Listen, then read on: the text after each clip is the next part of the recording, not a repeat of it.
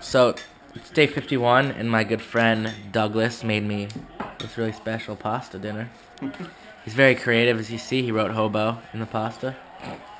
Uh, what do you want to say to the world, Doug? Uh, glad to have you here in Greensboro. Good Yeah. stuff. Thank you for the meal. No problem.